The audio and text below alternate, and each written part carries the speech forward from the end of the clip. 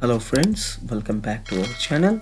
So today i'm going to show you how to copy the user how to copy the campaign because there is a lot of time whenever we are manually adding the user.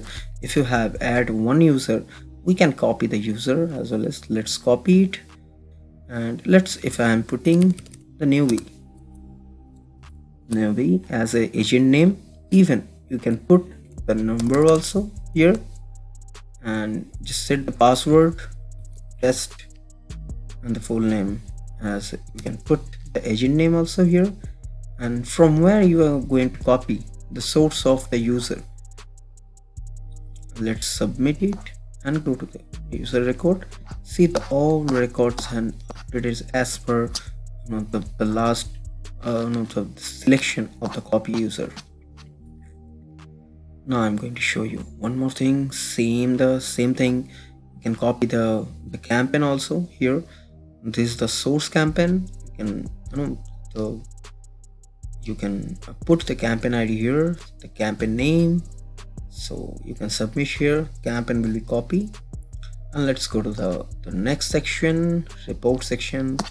See here is the one admin utilities. There's a lot of utilities are there.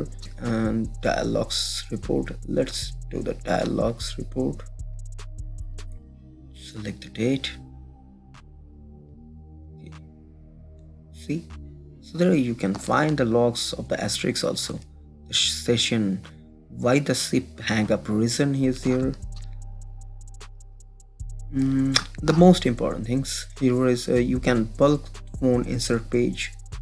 Let's do the insert page. So here is the bulk.